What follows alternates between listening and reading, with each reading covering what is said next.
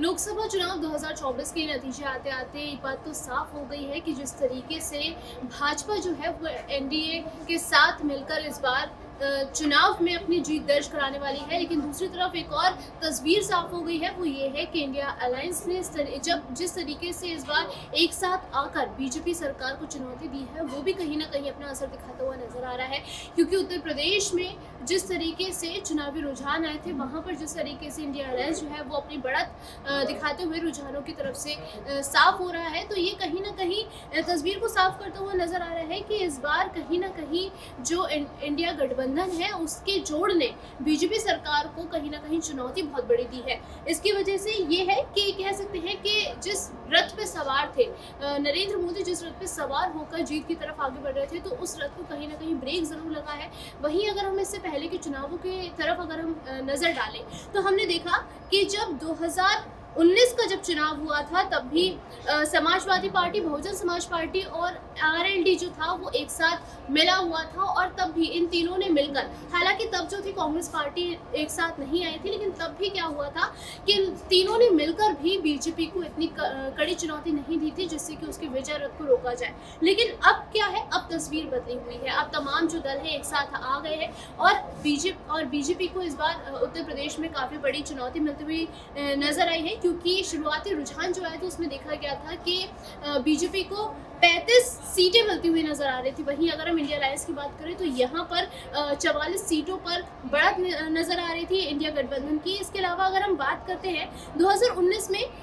BJP की performance की तो उसमें उन्होंने 80 में से बासठ सीटों पर अपना अपना नाम दर्ज किया था, अपने नाम की थी 80 में से बासठ सीटें। और 2014 की अगर हम लोकसभा चुनावों की बात करें तो यहाँ पर बीजेपी ने सीटों पर जीत दर्ज की थी और ये बहुत ही भारी भरकम दर्ज थी जीत दर्ज की थी, जिसके बाद से अंदाज़ा लगाया जा रहा था कि बीजेपी के विजय रथ को रोकना बेहद ही ज़्यादा मुश्किल हो जा रहा है। लेकिन अब बात करते हैं बीजेपी के संकल्प पत्र की, क्योंकि जिस तरीके से उसमें तमाम तरीके से जितने भी प्रधानमंत्री नरेंद्र मोदी की तरफ़ से जितनी भी योजनाएँ चाहे वो आयुष्मान योजना हो, चाहे वो गरीबों को घर दिलाने की योजना हो, तमाम तरीके की ये जो योजनाएँ हैं, उनको ही कंटिन्यू करने की बात की गई थी और इसी तरीके की तमाम बातें कही गई थी। लेकिन जहाँ बीजेपी का संकल्प पत्र था तो वहीं दूसरी तरफ़ जो था वो इंडिया गठबंधन का न्याय पत्र था, जिसमें उन्होंने तमाम तरीके के मुद्दों पर बीजेपी को घेरा था, क्योंकि जिस तरीके से वो आमतौर पर भी ये कहते हुए नज़र आते हैं कि नरेंद्र मोदी जो है या फिर बीजेपी वाले जो हैं, वो जो खास मुद्दे हैं उनको नहीं उठाते हैं, वो सिर्फ़ राम नाम पर चुनाव लड़ रहे हैं। और जिस तरीके से एक योजना लाई गई थी, अग्निवीर योजना के तहत भी कई सारे सवाल खड़े करे गए थे, जिसको लेकर बीजेपी को कई बार घेरा भी गया है कि ये जो योजना लाई गई थी वो दरअसल युवाओं के साथ धोखा था या फिर युवाओं के साथ जो है वो न्याय नहीं था, जिसको लेकर कांग्रेस लगातार इस बात का दावा करती आई कि अगर कांग्रेस सरकार इस बार सत्ता में आती है तो वो इस तरीके की तमाम जितनी भी योजनाएँ हैं उसको पूरी तरीके से खत्म कर देगी। तो ये कहीं ना कहीं जितनी भी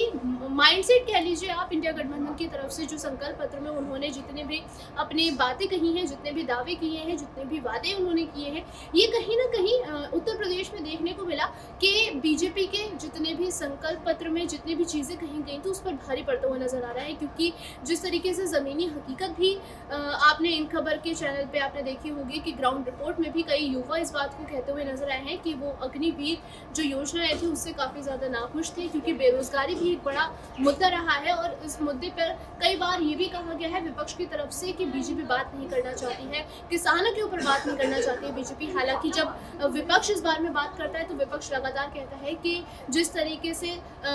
किसानों ने महीनों बैठकर दिल्ली में धरना दिया सरकार से, केंद्र सरकार से अपनी मांगे रखी, लेकिन उसके बावजूद भी सरकार की तरफ़ से उनको लेकर कोई भी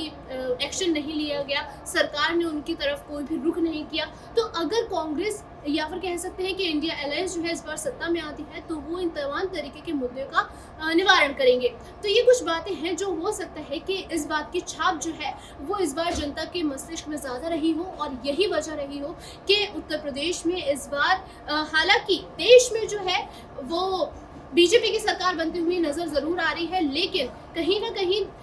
जनता के दिमाग पे जिस तरीके से कह रहे थे कि शुरुआती दौर में ये जो दो